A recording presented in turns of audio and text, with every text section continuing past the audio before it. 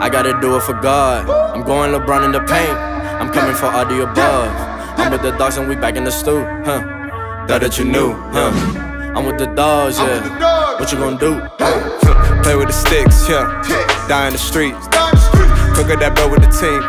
They got a feast, yeah. I made that beat go bang. Also, in dem heutigen Video geht es um das Thema Bewertungen. Okay, als Online-Anbieter muss man sich natürlich auch Kritik mit Kritik auseinandersetzen. Man sammelt nicht nur positive Bewertungen, sondern auch logischerweise negative oder neutrale, kann man nicht sagen, so mittelmäßige, durchschnittliche Bewertungen.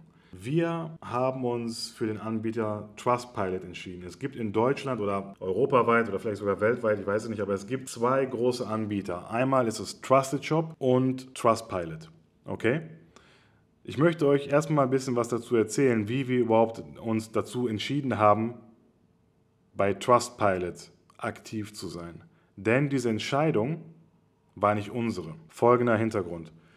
Wir haben vor Jahren ähm, mal eine E-Mail bekommen von einem Kunden oder von einem potenziellen Kunden, von einem Interessenten, der gesagt hat, ja, ich würde gerne bei euch bestellen, aber diese negative Bewertung über euch im Internet, die hält mich ein bisschen davon ab. Und da haben wir gesagt, was für eine negative Bewertung. Wo soll uns jemand negativ bewerten können? Weil zu dem Zeitpunkt hatten wir noch kein ähm, Bewertungsprofil. Und da hat er uns einen Link geschickt und dieser Link war von Trustpilot. Denn bei Trustpilot ist es so, man kann über Firmen Rezensionen, Bewertungen abgeben, ähnlich wie bei Amazon, ohne überhaupt bei dieser Firma nachweislich etwas gekauft zu haben. Das ist dann eine sogenannte nicht verifizierte Bewertung. Das heißt, ich kann jetzt bei Firma XYZ eine Bewertung abgeben, obwohl ich da gar nichts gekauft habe. Das wird nicht geprüft. Und erst wenn die Firma dann sagt, okay, das möchten wir bitte verifizieren lassen, da muss der Käufer sich anhand seines Ausweises oder anhand seiner Bestellnummer oder oder oder verifizieren. Dann ist es eine verifizierte Bewertung. Soweit, so gut. Das eigentliche Problem ist, dass wir als Firma oder als Marke, als Anbieter überhaupt gar keinen Account bei dieser, bei, diesem Bewertungs, bei dieser Bewertungsplattform hatten. Soll heißen, wir wussten davon gar nichts und wir können uns logischerweise auch nicht ähm, gegen ungerechtfertigte Bewertungen wehren. Okay, dieser Kunde hat uns dann darauf aufmerksam gemacht und wir sind dann hingegangen, haben uns die Plattform angesehen und haben dann das Profil über unsere Firma beanspruchen können. Das konnten wir machen. Das kann, auch dieses Profil könnte theoretisch jede Person beanspruchen. Ähm, man muss sich dann natürlich auch verifizieren mit Gewerbeschein, Handelsregisterauszug, Personalausweis und so weiter. Das haben wir alles gemacht und dann war es unser Profil. Das Profil war erstmal kostenlos und man kann dann auf Bewertungen, die man bekommt, antworten. Soweit, so gut. Dann gibt es auch eine Bezahlmöglichkeit. Da gab's, musste man irgendeinen kleinen Betrag, ich weiß nicht, welcher Betrag das war, bezahlen. Dann kann man auch Einladungen versenden. Nicht viele, aber man kann irgendwie, ich weiß es nicht, 100 Einladungen oder so versenden im Monat. Keine Ahnung, ich weiß nicht, ob es, ob es 100 waren oder weniger oder ein bisschen mehr. Auf jeden Fall nicht wahnsinnig viele. Zu dem Zeitpunkt hatten wir aber schon tausende Bestellungen im Monat. Das heißt, wir konnten nur einen Bruchteil unserer Kunden überhaupt erreichen und sie dazu einladen, eine Bewertung abzugeben, sei es positiv oder negativ. Das haben wir dann, ich weiß nicht, vielleicht ein oder zwei Jahre gemacht und im letzten Juni sind wir erst dazu übergegangen, ein größeres Paket bei ähm, Trustpilot zu buchen, welches uns dann ermöglicht, ermöglicht, alle unsere Kunden anzuschreiben das, ist, das geht automatisiert, sodass wir natürlich auch mehr Bewertung einsammeln können und ähm, auch potenziellen Kunden einen besseren Überblick verschaffen können, was andere Kunden bei uns gut finden oder schlecht finden. Da, das soll ja eigentlich dafür sein, dass Kunden oder Interessenten sich einen Einblick verschaffen können über die Firma, über den Service und auch über die Produkte. Und das ist auch völlig absolut in Ordnung. Ähm, deswegen haben wir da auch dann ein größeres ähm, Paket ähm, gebucht. Das kostet schon einiges an Geld. Ich gehe jetzt auf die Zahlen nicht ein, weil ich nicht weiß, ob das konform mit den AGBs ist, wenn ich jetzt Preise da ähm, ausplappere. Deswegen sage ich dazu gar nichts, aber es ist nicht günstig. So laden wir dann automatisiert Kunden nach der Bestellung ein, eine Bewertung abzugeben, sei es positiv oder negativ. Und wir sind dann von ursprünglich, als wir dieses erste Paket hatten, was wenig gekostet hat, da hatten wir irgendwie, also erstmal hatten wir gar keine Bewertung, sondern nur eine negative.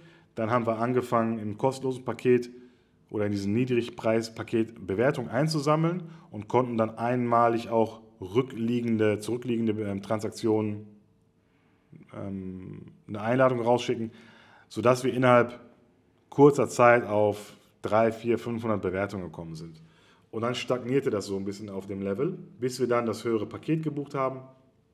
Und dann hatten wir schnell 1000 Bewertungen und dann bis zum Ende des Jahres 2023. Wie gesagt, wir haben im Juni 2023 dieses höchste Paket gebucht und äh, sind dann ganz schnell auf knapp 2000 Bewertungen zum Jahresende gekommen.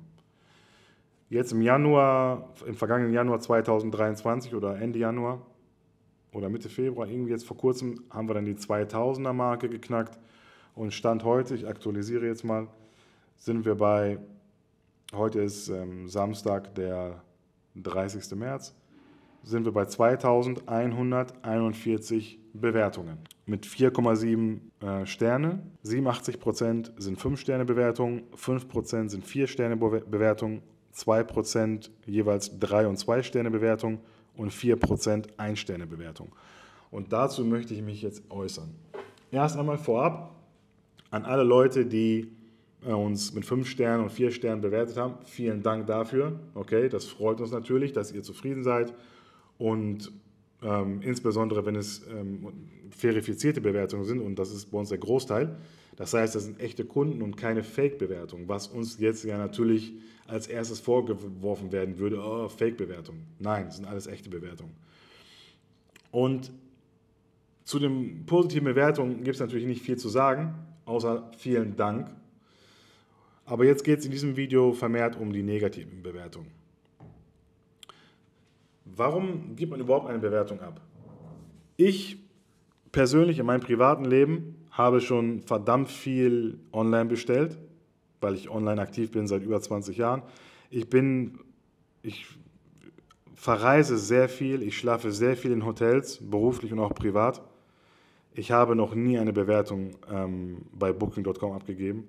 Bei Amazon habe ich, glaube ich, noch nie eine Rezension abgegeben und bei Trustpilot oder Trusted Shop auch nicht. Bei Google habe ich schon mal eine Rezension abgegeben, aber auch nur, weil ich von Geschäftspartnern dazu äh, eingeladen wurde. Ja, magst du das bitte rezensieren? ob positiv oder negativ. Und ich habe da eine positive Rezension abgegeben, zwei, dreimal. Ich habe sonst keine negativen Bewertungen abgegeben. Auch, kein, auch keine positiven, wie gesagt, außer zwei, drei Stück. Aber natürlich habe ich schon negative Erfahrungen gesammelt. Ich habe mir letztes Jahr ein teures Auto hier in Dubai gekauft und das Auto hat jetzt nicht wirklich große Probleme gemacht, aber es hat nach bereits drei Tagen, ich habe das Auto gekauft, das wurde dann einen Monat später ausgeliefert und drei Tage später haben die Bremsen angefangen zu quietschen. Wie ein Zug. Das nervt so sehr, es hat mich so sehr getriggert. Ich bin dann hingegangen, habe das Auto abgegeben für eine Woche, weil ich verreist bin. Kümmert euch darum. Das Auto hat Garantie. Okay. Und ist Premium-Segment. Sollte man denken, dass sie das fixen. Ich komme nach einer Woche Reise zurück. Das Auto, ja, ist alles okay. Okay, abgeholt. Einen Tag später quietscht wieder. Einen Monat später bin ich wieder verreist, wieder Auto abgegeben für eine Woche oder so, diesmal sogar zehn Tage. Da wollten die mir 3000 Dirham berechnen. Das sind ungefähr 750 Euro. Da habe ich denen gesagt, seid ihr noch, ich habe es nicht so wortwörtlich gesagt, aber so, ich habe denen zu verstehen gegeben, dass ihr, glaube ich, verrückt seid. Ihr wollt mir 3000 Dirham berechnen für ein Auto, was ich gerade gekauft habe von euch mit Garantie, das nach drei Tagen so ein, also ein Problem hat. Das kann doch nicht sein. Lange Rede hin und her. Das Auto war insgesamt viermal beim Anbieter in der Werkstatt. Einmal auch zum jährlichen Service, den ich natürlich bezahlen muss und auch bezahlt habe. Da habe ich auch die Bremsscheiben oder Belege oder was weiß ich, auch, ich weiß nicht mehr, was es ist, wurde getauscht. Ich habe gesagt, komm, Ich habe die Schnauze voll, tausche das aus. Es hat mich insgesamt 2500 Euro gekostet. Service und Bremsen. 2500 Euro. Und mir wurde versprochen, dass alles in Ordnung ist. Und was war? Nach zwei Tagen die Bremsen quietschen wieder. Da habe ich aufgegeben, weil es bringt nichts. Warum erzähle ich euch das jetzt? Ich war richtig angepisst. Das kotzt mich bis heute an. Ich steige in mein Auto ein, was ich sonst, ich bin mit dem Auto sonst super zufrieden. Vom Aussehen, vom Fahrerlebnis, vom Platz, vom Preis, vom Verbrauch, vom allem. Ich bin rundum zufrieden. Nur diese Bremsen, ja, ich will jetzt nicht schimpf, keine Schimpfwörter benutzen, aber die ballern so richtig negativ rein. Ich habe trotzdem keine negative Bewertung abgegeben. Trotzdem. Warum? Das ist Zeitverschwendung für mich. Es bringt mir nichts. Es bringt mir persönlich nichts. Es bringt mir nichts. Und da habe ich gesagt, scheiß drauf, mache ich nicht. Es würde andere Leute vielleicht davon abhalten, dort zu kaufen. Ja, weiß ich nicht. Kleine, kleine Nebengeschichte. Auf jeden Fall, da ging es um einen hohen fünfstelligen Betrag und trotzdem habe ich keine negative Bewertung abgegeben. Jetzt kommen wir zurück zu uns, zu Taipan-Schmuck. Es gibt Leute, hier ist einer zum Beispiel, könnt ihr mal auf unser Profil gehen, dann geht ihr auf äh, Filtern, auf Ein-Sterne-Bewertung, wenn ihr das machen möchtet. Ne, auf, zwei, ja, auf, ein, auf eine Sterne und da ist einer, der nennt sich Amadeus. Okay, die vom 10. März 2024, die Überschrift lautet, was ich den und tu. Weiß ich nicht. Achso, was ich den und tu, das traue jedem anderen zu. Wahrscheinlich so das heißt, was ich denke und tue, das traue jedem anderen zu. Keine Ahnung, ich bin kein belesener ähm, Poet. Der hat eine negative Bewertung äh, aus, äh, verfasst. Es geht dabei um 4 Euro Kosten für ein Retourenlabel, weil wir keinen kostenlosen Versand anbieten. Um 4 Euro. Er hat was gekauft und wollte es zurückschicken. Wenn bei uns jemand ein Armband bestellt und es passt nicht und er möchte es zurückschicken und sein Geld zurückhaben, das ist gesetzlich vorgeschrieben, kann er machen. Er schickt es zurück am gleichen Tag, wenn wir das Armband bekommen und es in Ordnung ist, erstatten wir ihn den Kaufpreis. Aber er muss die Rücksendekosten tragen. Wenn du jetzt als Kunde zu DHL gehst, dann zahlst du da, was weiß ich, 6, 7 Euro für in der Postfiliale. Bei uns im Retourenportal, was wir anbieten, das vereinfacht nicht nur den Retourenprozess, sondern es gibt ein günstigeres Versandlabel, nämlich mit DHL als Paket bis 500 Euro versichert mit Sendungsnachweis, mit Sendungsverfolgungsnummer. Für 4 Euro. Wir zahlen auch wirklich 4 Euro an DHL und wir geben es eins zu eins weiter ähm, an die Kunden. Letztendlich, aufgrund der Mehrwertsteuer und so, zahlen wir sogar ein bisschen drauf, aber da, das sei mal ein anderes Thema. 4 Euro. Er war nicht bereit, das zu bezahlen. Er hat dann zwei negative Bewertungen abgegeben. Wo bleibt das Rücksendeetikett? Das Armband entspricht nicht meinen Erwartungen. Gerne würde ich es zurückgeben. Doch leider scheint eine Rücksendung Erstattung schwierig, obwohl ich fristgerecht widerrufen habe. Laut Geschäftsbedingungen soll eine kostenlose Rücksendung möglich sein. Nur warum antwortet man nicht, außer dass meine Mail bearbeitet wird? Fünf Fragezeichen. Das sollte doch ein standardisiertes Verfahren sein. In unseren AGBs steht, dass, ähm, oder beziehungsweise in unserer Videosbelehrung, dass der Kunde die unmittelbaren Kosten einer Rücksendung zu tragen hat. Wie gesagt, wenn einer ein Armband bestellt und es zurückgeben möchte, muss, oder egal was man zurück, zurückgeben möchte, muss der Kunde den Rückversand bezahlen. Das ist einfach so. Möchte er das Armband umtauschen gegen eine größere oder kleinere Größe, dann ist es so, dass äh, wir dem Kunden einen kostenlosen Rückversand anbieten, wenn er das neue Armband kauft. Das finden wir fair und bieten es dementsprechend an. Soll heißen, du hast anstatt 21 cm 19 cm Armband bestellt, du möchtest es umtauschen. Kauf das neue Armband, okay? Schick uns die Bestellnummer und wir schicken dir dann auch ein DHL-Label, mit dem du das erste Armband zurückschicken kannst. Das ist dann für dich kostenlos. Warum? Weil der Sale, der Verkauf bleibt ja. Okay, das, das erste Armband kommt dann zurück, erstatten wir, aber er hat ja ein neues gekauft. Weil unterm Strich muss man ja auch fairerhalber sagen, wir betreiben hier keinen Wohltätigkeitsverein, sondern ein Geschäft. Okay? Wir haben es mal versucht, kostenlosen Versand für alle Retouren, äh, kostenlosen Rückversand anzubieten. Das haben die Leute einfach schamlos ausgenutzt und bestellen, bestellen, bestellen. Wie die äh, Leute sich Klamotten bestellen. Ach, T-Shirt gefällt mir, ich weiß nicht, Größe M, L, XL. Ich bestelle einfach jede Größe, jede Farbe und schicke den ganzen Schund dann zu Zalando, Zara, H&M und so zurück. Diese großen Firmen, selbst diese großen Firmen machen das nicht mehr so locker mit, aber früher haben die es halt einfach gemacht und Zalando war auch die, eine der Firmen in Deutschland, die das überhaupt etabliert hat, diesen kostenlosen Rückversand und die Leute so darauf getrimmt hat, dass alles kostenlos sein muss. Wir haben dann äh, diesen, diese Testphase mit kostenlosen Retouren ganz schnell wieder beendet. Ich glaube nach zwei Monaten. Und sind wieder dazu umgeswitcht, dass wir Retouren berechnen, wenn es eine Erstattung ist, eine Rückgabe ist. Wenn es ein Austausch oder ein Neukauf ist, dann aus Kulanz ist es möglich, ähm, ein kostenloses Retourenlabel zu ähm, dem Kunden zu geben. Jetzt mag der eine oder andere sagen, ja, warum seid ihr so kleinlich wegen 4 Euro Kosten? Wir haben ja nicht 10 Retouren im Monat. Wir haben, in manchen Monaten haben wir 1000, 1300, 1500 Retouren im Monat. Das sind dann mal ganz schnell 4.000 bis 6.000 Euro. Nur für die Retoure. Der Hinversand ist ja auch schon kostenlos ab 50 Euro Bestellwert in Deutschland. Nur weil es kostenloser Versand heißt, heißt es ja nicht, dass es nichts kostet. Und wie gesagt, wir zahlen ja an DHL 4 Euro für ein Paket in Deutschland. Okay? Und ins Ausland, nach, äh, ins EU-Ausland zahlen wir, keine Ahnung, ich glaube so 10 Euro und wir berechnen bis 100 Euro Bestellwert 6,90 Euro. Das heißt, auch da zahlen wir drauf. Und ab 100 Euro Bestellwert, meine ich, ins, ins EU-Ausland berechnen wir gar nichts. Wir zahlen trotzdem 10 Euro. Das sind irgendwie 9,60 Euro oder so. Und in die Schweiz berechnen wir 15 Euro und ab 300 Euro Bestellwert, glaube ich, ist es dann kostenlos. Wir zahlen aber 25 Euro für ein Paket. Und der Zoll, die Zollabwicklung, der Zoll, der Papierkram ist auch enorm. Soll heißen, es, ist, es gibt keinen kostenlosen Versand, weder für uns noch für sonst jemanden. Es wird immer bezahlt. Irgendwer zahlt die Rechnung. Und das sind in diesem Fall wir. Okay, das heißt, Hinversand kostenlos, 4 Euro.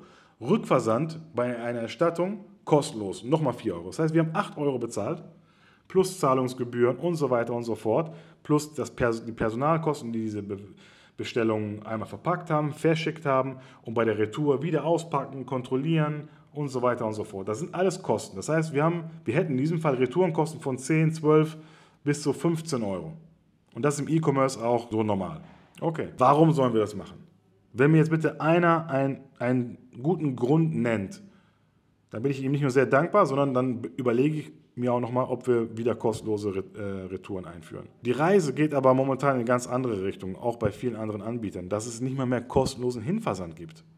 Egal wie hoch der Bestellwert ist. Die Leute gehen dazu, die große Firmen gehen dazu über, wieder für den Versand zu, Kosten zu berechnen. Weil man hat die Kosten ja auch wirklich, okay? Wir können natürlich die Kosten umlegen auf jede Bestellung und auch die Retourkosten. Auf, nicht auf jede Bestellung, auf jeden Artikel. Dann werden die Artikel aber teurer. Und das ist unfair den Leuten gegenüber, die einfach Artikel bestellen, von denen wir zum Glück Tausende haben und dafür sind wir sehr dankbar und die, die auch die Artikel behalten oder die ohne zu meckern auch den zurückschicken auf eine, eigene Kosten. 4 Euro. Okay, dieser Herr Matthäus hat dann sich so aufgeregt darüber wegen, wegen 4 Euro, wegen 4 Euro ähm, und hat dann eine negative Bewertung abgegeben. Okay, ist ja sein gutes Recht. Wenn du jetzt aber auf sein Profil gehst, er hat sieben Bewertungen abgegeben, dann sind die ausschließlich negativ. Okay? Jetzt komme ich nämlich, jetzt spanne ich den Bogen und komme wieder zurück zu meiner Geschichte mit meinem Auto. Er gibt nur negative Bewertungen ab. Nur negativ. Sieben Bewertungen, davon sind sieben negativ. Was sagt das über ihn aus? Er gibt keine, er gibt keine positive Bewertung ab. Heißt das, dass er siebenmal irgendwo online bestellt hat und siebenmal enttäuscht wurde und deswegen negativ rezensiert? Nein, der gute Herr bestellt sicherlich öfters online und ist mit dem Großteil der Artikel, die er bestellt, zufrieden. Da macht er sich aber nicht die Mühe, um positiv zu bewerten. Was bedeutet das? Man benutzt dieses Tool der Bewertung nur, um sich auszukotzen und wenn man nicht das bekommen hat, was man von der Firma möchte, in unserem Fall kostenloser Rückversand, um der Firma einen reinzudrücken und dieser Firma zu schädigen.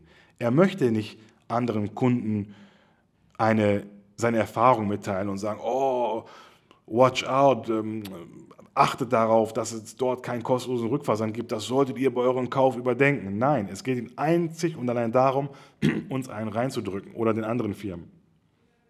Weil sonst wären in seinem Profil auch positive Bewertungen. Okay? Ist aber nicht so. Und zurück zu meiner Geschichte. Ich gebe gar keine Bewertung ab. Weder positiv noch negativ. Finde ich fair. So, wenn ich jetzt. Was heißt fair? So, ich, hab, ich, ich nehme mir einfach nicht die Zeit und ich bestelle so viel ähm, für die Firma, privat, für, für mehrere Firmen. Wir geben so viel Geld für verschiedene Tools aus im Monat. Das sind tausende Euros, die wir nur für Tools und Software ausgeben. Manche davon sind sehr gut und erleichtern uns das Leben und manche davon sind irgendwie nicht so gut, aber wir geben da keine, ich gebe da keine Bewertung, weder negativ noch positiv ab. So. Ja, man sollte immer positiv ähm, oder auch negativ, also man sollte immer eine Bewertung abgeben. Oder was heißt man sollte? Es ist, es ist hilfreich, es hilft Firmen. Ähm, Firmen, die gut arbeiten, die einen guten Job machen, so wie wir. Weil, wie gesagt, kommen wir zurück zum, zum, zur Übersicht. Wir haben 2141 Bewertungen, davon sind 4% negativ. Und von diesen 4% bin ich mir ziemlich sicher, die Hälfte ist ungerechtfertigt. Ich will nicht sagen, dass wir frei von Fehlern sind. Wir machen auch Fehler.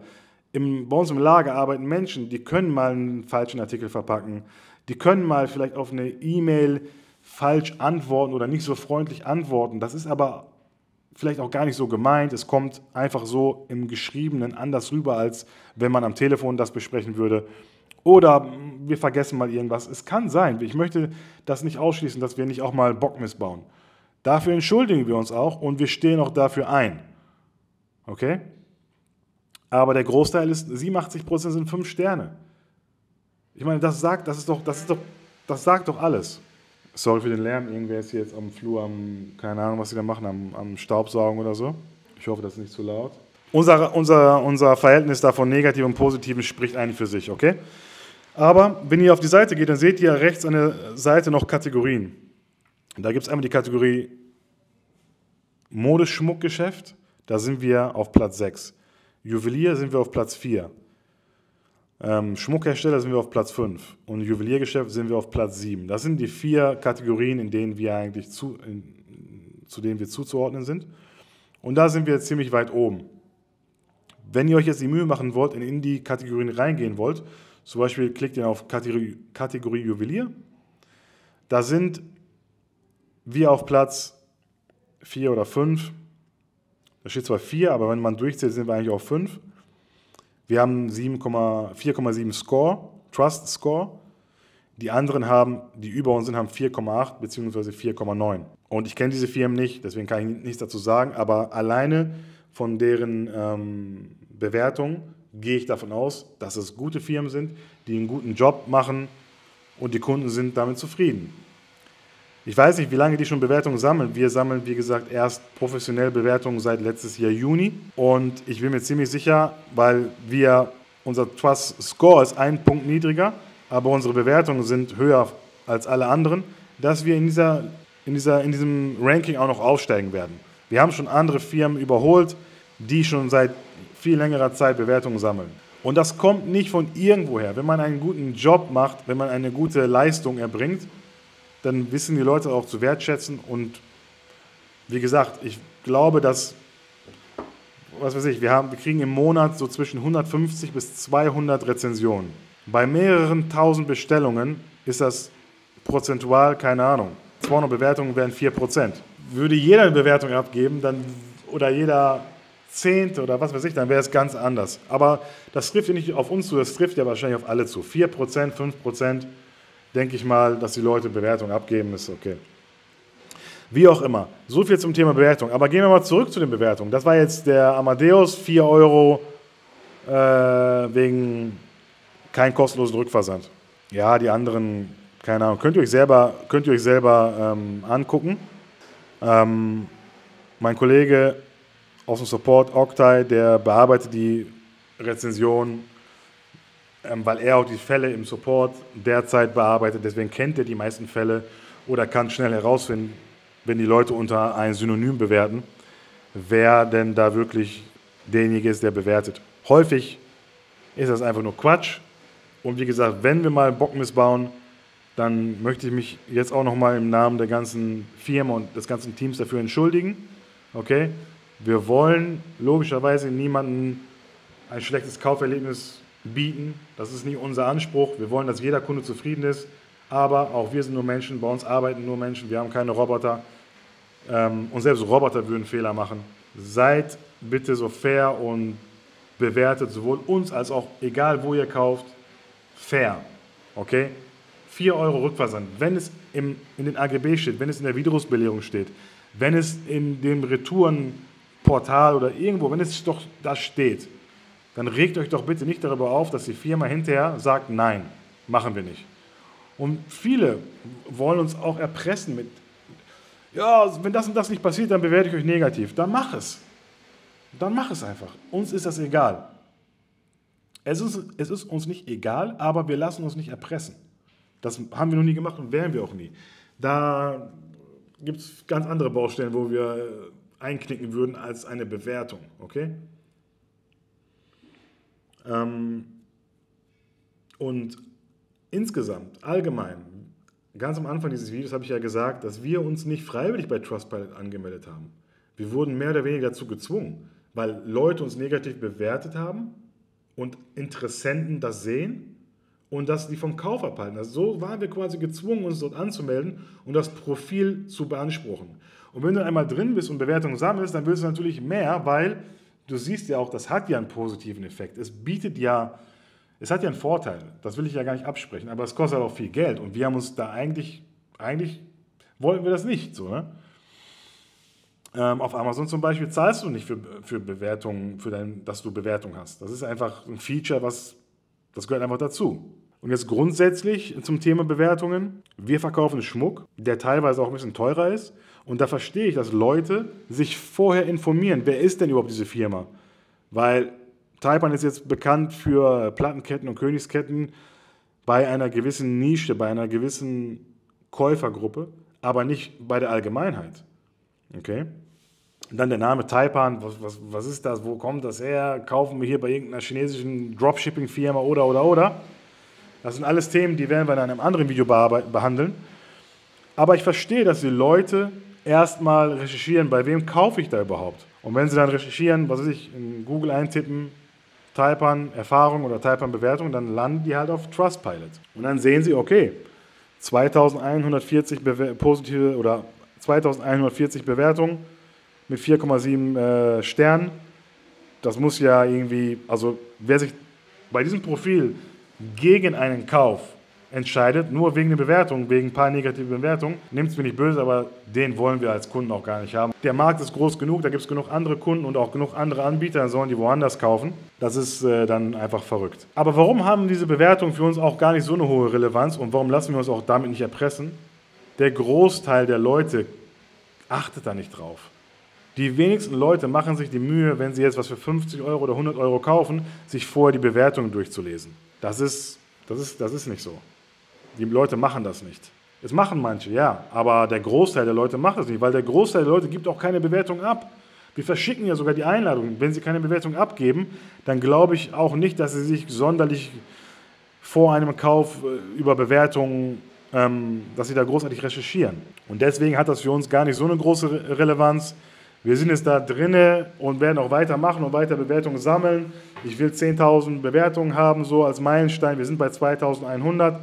Ich denke, das wird zwei Jahre dauern, dann sind wir bei 10.000, weil natürlich jetzt der Effekt ähm, höher ist. Wir haben mehr Artikel, wir haben mehr Transaktionen, wir wachsen, unser Geschäft wächst. Automatisch haben wir natürlich mehr Bewertungen und irgendwann mal ist das so eine Lawine, dann sehen die Leute, wow, so viele Bewertungen und so und dann geben die auch vielleicht eher eine Bewertung ab. Ich weiß es nicht, wir werden sehen. So viel dazu. Wenn ihr Anregungen habt, haut es in die Kommentare rein. Ich bin gespannt, was ihr so dazu zu sagen habt. Wer das Video sich bis zum Ende angeguckt hat, danke fürs äh, Zuschauen.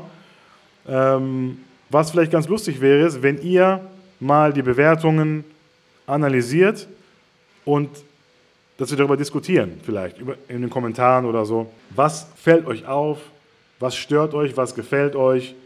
Weil wir wollen auch lernen, wir wollen auch ähm, verstehen, wie unsere Kunden ticken. Was, was hält euch von einem Kauf ab? Was hat euch dazu geführt, bei uns zu kaufen, nachdem ihr die Bewertung gesehen habt? Okay? Also www.typemaschmo.de, ihr wisst Bescheid. Vielen Dank fürs Zuschauen. Bis zum nächsten Video.